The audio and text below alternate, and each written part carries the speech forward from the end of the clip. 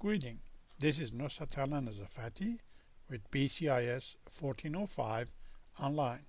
In this clip, I would show you how to go to the lessons folder and do your exams. There are two exams.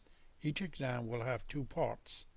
Exam 1 will have part 1 which is chapter 1 through 4 of your textbook for multiple choice true false and then the second part is the hands-on part which is MS Word. Locate the lessons folder and go to the lessons folder. Once you're in the lessons folder, you scroll down till you see the exam 1, part 1 and part 2 and click on that folder and there is a link folder exams you click on that link and it'll open up your exams folder.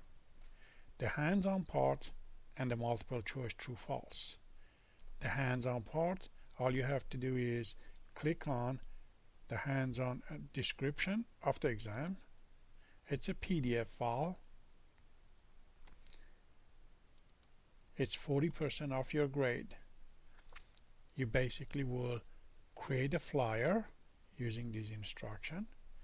You create two documents you pretty much make a table using Word just like this one exact same form and then you email your table file with instruction for that. And these are the files that you upload to the Blackboard for your exam 1 they are all PDF files. You got to make PDF file out of your documents.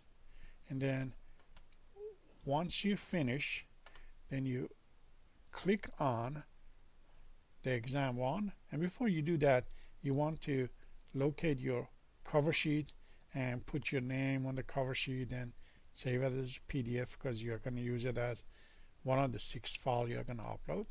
Once you click on exam 01 hands-on part then it comes and gives you screen like this.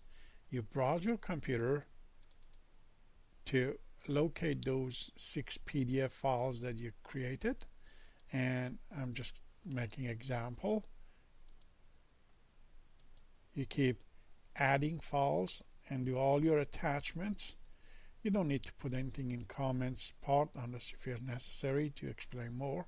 Once you did all six attachments then you click on submit and it'll take your exam and send it to my gradebook for grading.